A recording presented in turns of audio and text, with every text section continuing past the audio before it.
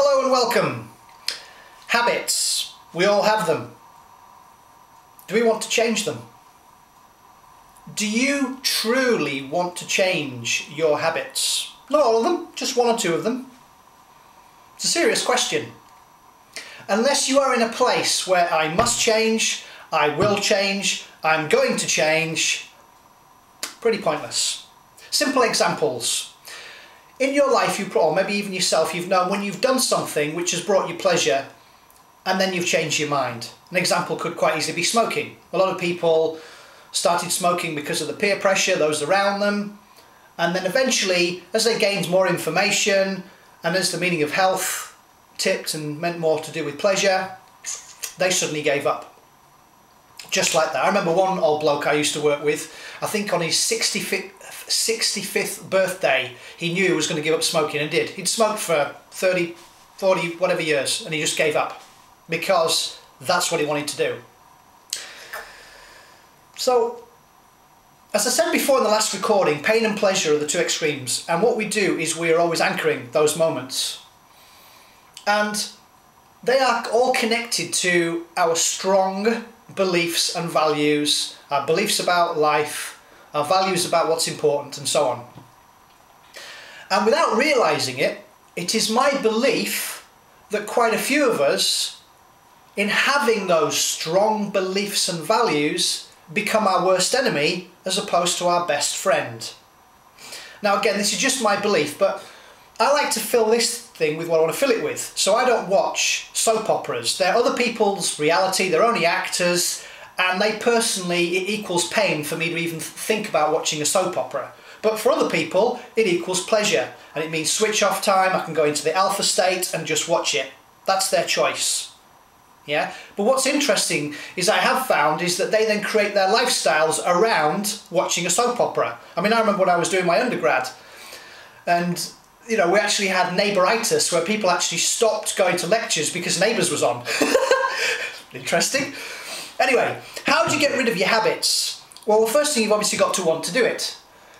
Now, while I am having this conversation with myself, recording this, let's say Sarah walked in and she asked me a question and then I came back to this recording. She's interrupted my pattern, my train of thought and you, no doubt, in your life, you've had the same situation where you're talking to somebody and you either hear a noise or somebody steps up to the plate and has a chat with you and interrupts your pattern. Guess what? That's what I'd like you to do.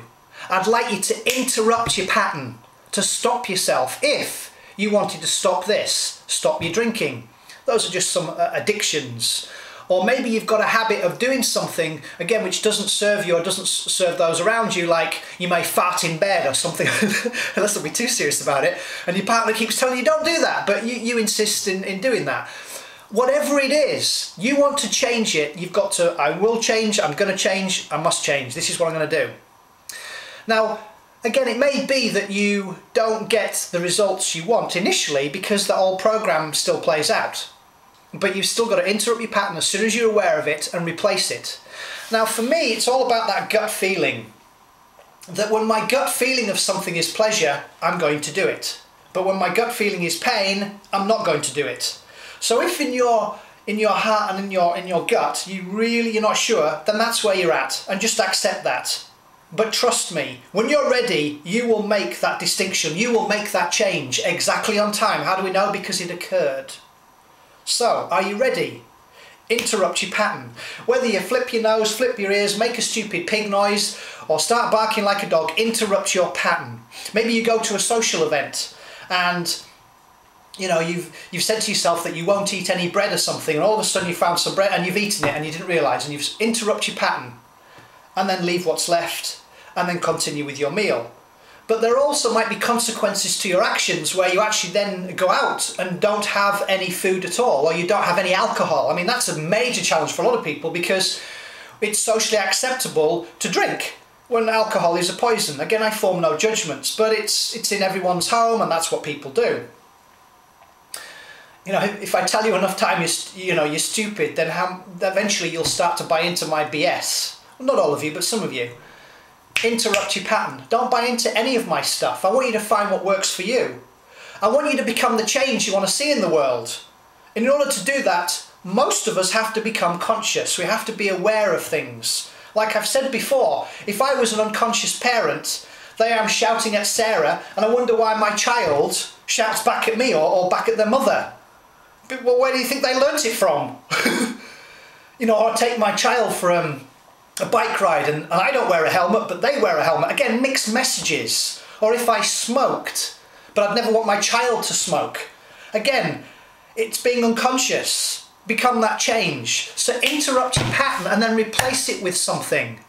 So an example I work with smoking, if, if you want to quit smoking, stick a bottle of water in your mouth. You want a cigarette, bottle of water. That's just one example. As soon as I realised the effects of what a microwave does, nuking my food, I got rid of my microwave. As soon as I was aware of what aluminium or aluminum did, I used to wrap it around my salmon and, and cook it. I used to bake it in the oven.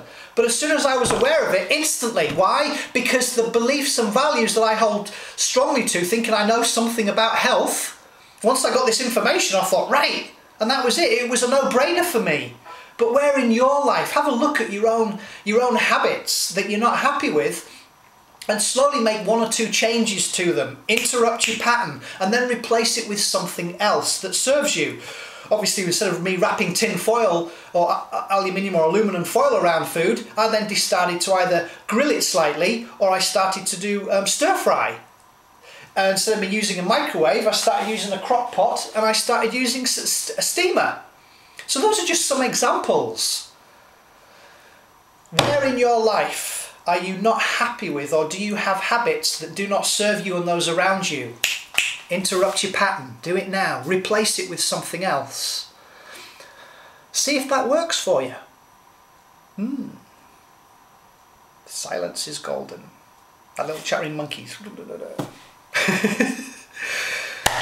fun doing it as well. Don't be so serious. Like I said before, being serious kills passion and it also kills people. So don't be serious all the time. this is what I keep telling myself. That's why I'm reminding you.